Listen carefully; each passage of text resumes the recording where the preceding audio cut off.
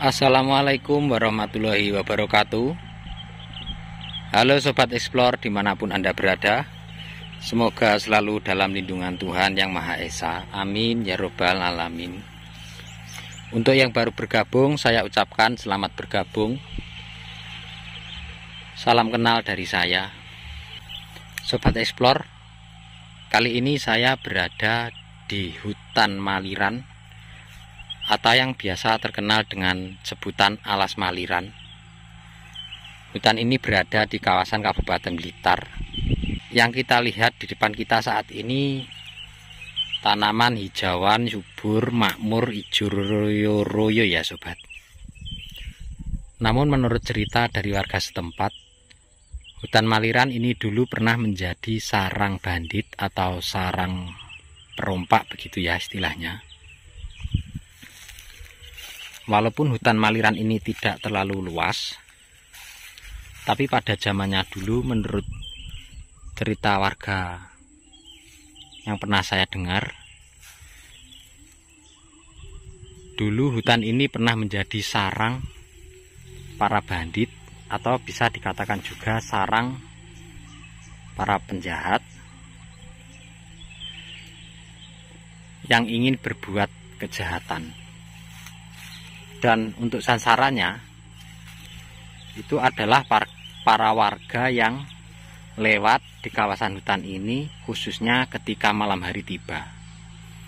Bahkan ketika siang hari sekalipun jika ada warga yang lewat dengan membawa benda-benda yang terlihat berharga maka para bandit atau para perompak tidak segan-segan untuk merebut harta benda mereka namun demikian sekarang ini sudah menjadi lahan yang bisa ditanami oleh masyarakat setempat ya sobat. Jadi walaupun hutan maliran ini dulu adalah tempatnya para bandit namun sekarang sudah diolah oleh warga setempat dengan catatan masih di bawah perhutani atau di bawah kekuasaan perhutani dengan mengikuti peraturan-peraturan dari perhutani.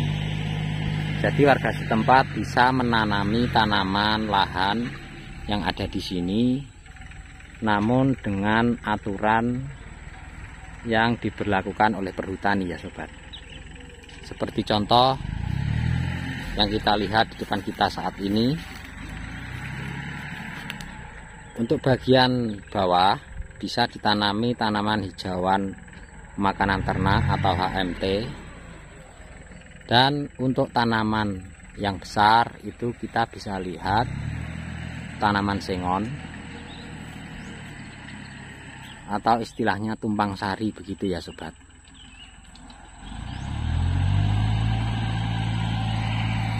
Jadi di satu sisi masyarakat setempat bisa menghasilkan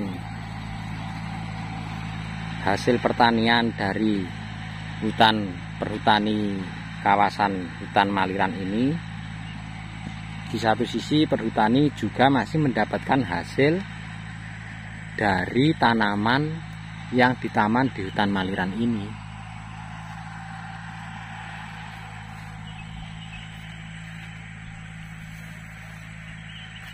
Selain tanaman sengon, di sini juga terlihat beberapa tanaman lain, ada pohon jati. Ini yang di belakang saya ada pohon terembesi sepertinya sobat. Dan ini yang kita lihat saat ini adalah HMT yang baru saja dibabat. Mungkin sekitar beberapa hari yang lalu. Yang ini sudah nampak mulai trubus kembali. Dan yang di depan sana itu belum ada trubusnya dan terlihat sangat subur ya sobat. Dan yang lebih menarik lagi saat ini petani sudah tidak sepenuhnya mengolah lahan dengan sistem manual ya sobat. Bisa dikatakan ini semi manual karena untuk memeluku atau mengolah lahannya sudah sebagian ada yang menggunakan mesin atau traktor. Seperti yang kita lihat saat ini ada di depan jauh sana. Dengan adanya traktor atau mesin seperti itu sepertinya sangat membantu ya sobat namun dengan catatan jika tanaman perhutani atau yang ditanam oleh pihak perhutani masih kecil tidak boleh menggunakan alat berat atau mesin traktor seperti itu kenapa?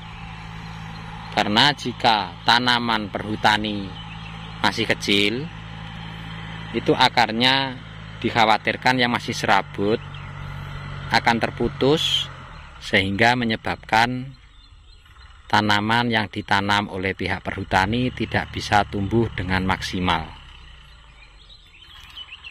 Kalau yang seperti ini, ini tanaman yang ditanam oleh pihak perhutani sudah besar dan ini sudah siap untuk dipanen.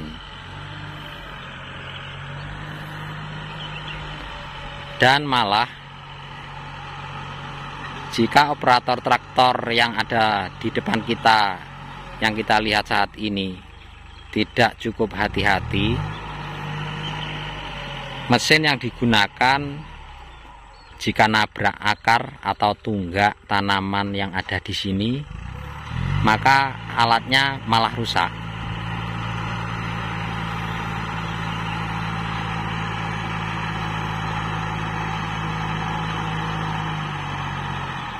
lah itu seperti yang kita lihat. Operatornya maju mundur ungkak-ungkek. Karena dia tidak bisa melewati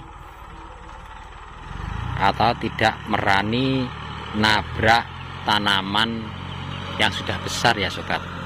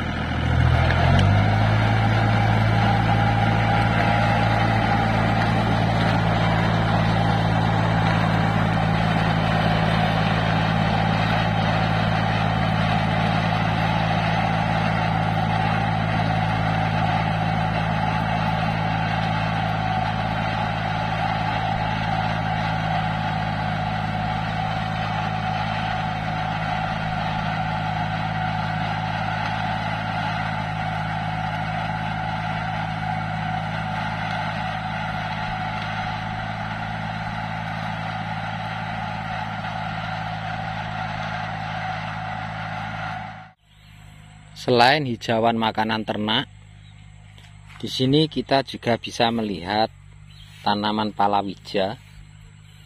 Ini sepertinya baru tukul tanamannya. Sepertinya pohon tomat ini. Dan tanaman yang sebelumnya adalah terong. Sebagian besar di sini tanamannya adalah jagung.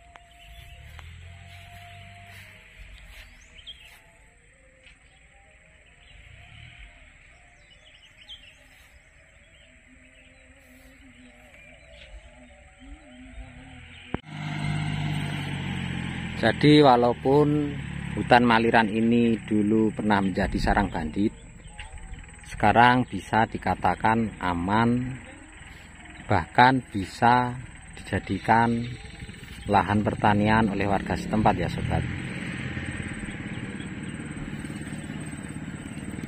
Di sana terlihat ada anak muda yang kemungkinan juga dia adalah pengolah lahan tersebut atau tukang ngarit saya juga tidak tahu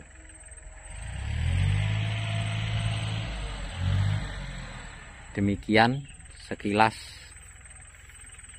kisah tentang alam Maliran atau hutan Maliran yang ada di Ponggok Kota Blitar.